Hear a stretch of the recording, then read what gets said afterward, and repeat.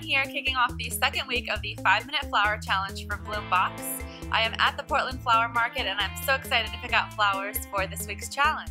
Hey guys, back from the market. So I picked out some incredible ranunculus and they are not technically in season here in Portland. I always try to keep that in mind. Think about the environment where things coming from, but when you're treating yourself to flowers, sometimes you just have to go with what speaks to you. So these green and white, incredibly beautiful ranunculus and then this blush color here. I did, however, find some sweet peas that are in season here in Portland um, or just coming into season. And so these will be my small uh, flowers that we'll cut from for the small bud vase. If you haven't checked your email yet, take a look. And um, we're talking about the simple life.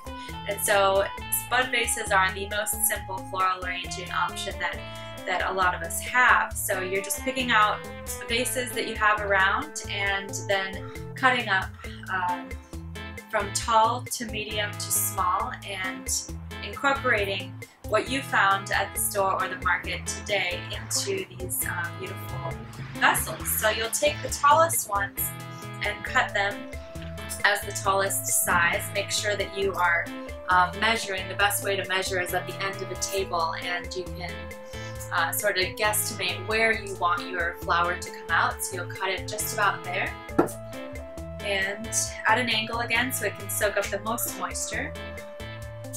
Then you can do various sizes within these vases to get a sort of eclectic look going.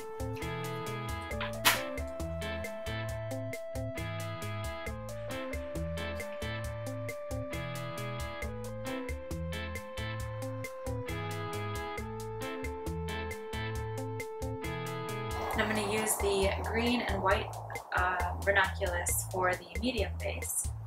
Looks like it's pretty small opening in the space, so I may actually only be able to fit one, which also looks quite lovely. And then the sweet peas have a thinner stem, so you can take those and put them into quite a bit of a smaller opening in a vase um, and still get a lot of blooms for your buck there.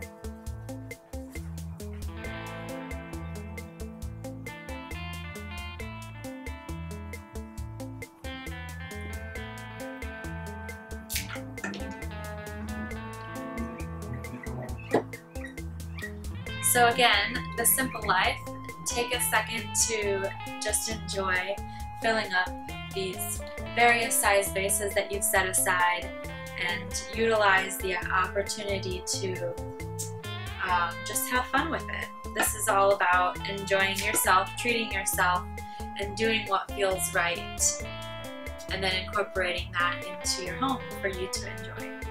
Hope you guys had a great second week with us. Thanks for tuning in. We'll see you soon.